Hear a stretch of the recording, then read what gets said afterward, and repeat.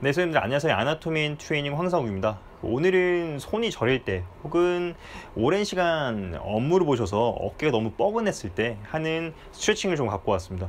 뭐 써놨듯이 신경 스트레칭이라고 써놨는데요. 어, 그렇게 해서 막 특별한 건 아니고요. 저번에 저희가 승모근 스트레칭을 했었죠. 어, 저희가 승모근 스트레칭을 해서 근육 스트레칭을 했어요. 이번에는 신경 스트레칭해서 어, 신경에 좀 더 집중한 스트레칭이라고 보시면 될 것 같아요. 이번에 할 신경 스트레칭은요 어, 정중 신경을 집중적으로 어, 타겟해서 하는 스트레칭입니다.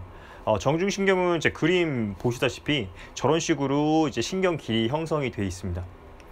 어, 손목 터널 증후군은 많이 들어보셨을 거예요. 어, 캐셔분들 혹은 잦은 타이핑 업무로 인해 손목이 이제 저리거나 손에 찌릿한 증상 혹은 손에 피가 안 통하는 증상이 있으신 분들을 보통 손목 터널 증후군이 있다라고 이제 얘기를 하는데요. 뭐 진단 당연히 진단은 이제 의사 전문의에게 어, 진단을 받으시는 게 맞습니다. 어쨌든 그런 분들에게도 상당히 유용한 스트레칭입니다. 그래서 어, 저 지금 그림에 나와 있는 신경을 마찬가지로 스트레칭해서 어, 신경이 갖고 있는 텐션 어, 그 텐션을 좀 더 완화시켜 준다고 보시면 될 것 같습니다. 음, 한번 어떻게 하는지 한번 보시죠. 가슴을 쭉 피셔야 됩니다. 이때 동작 중에 가슴이 앞으로 숙여주시면 절대 안 되니까요. 유의해 주시고요. 가슴을 쭉 핀 상태로 팔 길이만큼 벽에서 떨어져 줍니다. 손바닥을 쭉 핀 상태로 그대로 벽에 손을 대어 주고요.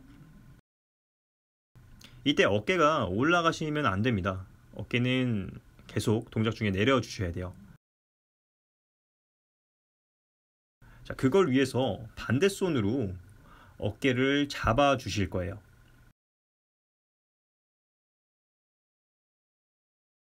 그래서 팔꿈치를 쭉 피시고요.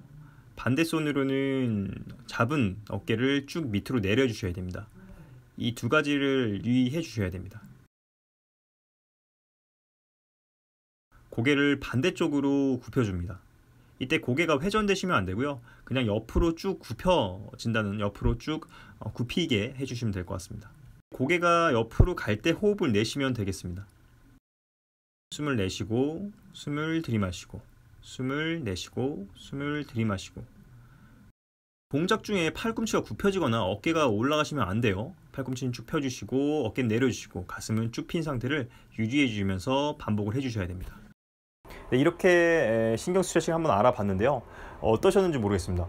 어, 흔히 하시던 근육 스트레칭과는 많이 느낌이 다르실 거예요. 근육 스트레칭이 좀 더 뭔가 시원했다면은 지금 이 신경 스트레칭은 하는 동안 되게 찡긋하고 오히려 더 긴장이 더 많이 되실 수도 있을 것 같아요.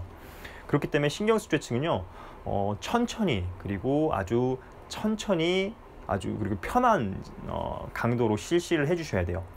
너무 강하게 하거나 너무 세게 하면요, 오히려 잡으려고 하는 텐션이 더욱더 강해질 수가 있습니다. 그렇기 때문에 천천히 살살 그리고 부드럽게 해주시는 게 가장 중요합니다. 하신 다음에 어, 좀 더 몸이 가벼워지고 목이나 손 쪽에 어떤 긴장감 그리고 어떤 딱딱한 느낌들이 많이 풀어지셨으면 아주 잘 하신 겁니다. 어, 신경 스트레칭은 하루에 어, 한번 뭐 이렇게 저번에도 말씀드렸지만 한 번 뭐 이렇게 하루에 세 번 뭐 30초 이렇게 하기보다는요 선생님들이 불편하실 때 수시로 좀 해주시면 좋을 것 같습니다. 네, 이렇게 해서 다음번에도 한번 신경 스트레칭을 뭐 시리즈로 좀 제작해서 다음에도 다른 신경을 한번 스트레칭 해보도록 하겠습니다. 감사합니다.